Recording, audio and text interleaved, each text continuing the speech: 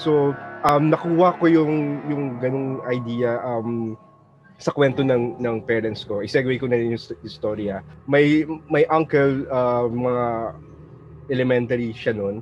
Kwento, laging inuulit-ulit sa amin ng, ng parents ko yung story na to when we are a kid. Nawala yung uncle ko for three days sa Bicol.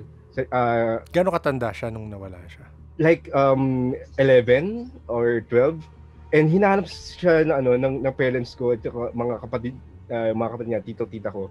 Hinanap yung uncle ko yun. Hindi na talaga nila makita. And then after three days, nakita nila yung uncle ko sa ilalim ng sink cabinet kumakain ng tinapay. Oh my gosh. Okay. Then nagkwento yung yung uncle ko. Sabi ng uncle ko, uh, may nag-offer daw sa kanya ng ganito. Then dinala siya sa ganitong place, ganyan ganyan.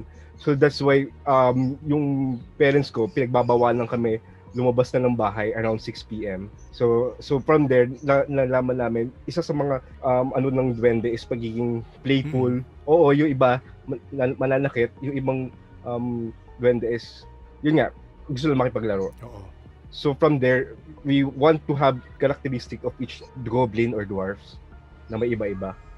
Yeah. Posibleng engkanto rin, eh, no? Iba, parang yun yung mga yes, kwento sa yes, engkanto mm. na nag invite sila tapos yun nga sinasabi, pag may pinakain ka, pag pinakain ka parang wala, trap ka na. Mm, yeah. I, and I one of the the things that um, sabi ng ng parents ko is um, bigyan daw siya ng black rice, ah, something okay, like daw. that. Pero hindi niya daw tinanggap. Buti hindi niya tinanggap, oo. Yeah, oh, black rice kasi it's pag kinain mo yun, magiging mapapasa sa kanila kanan nila.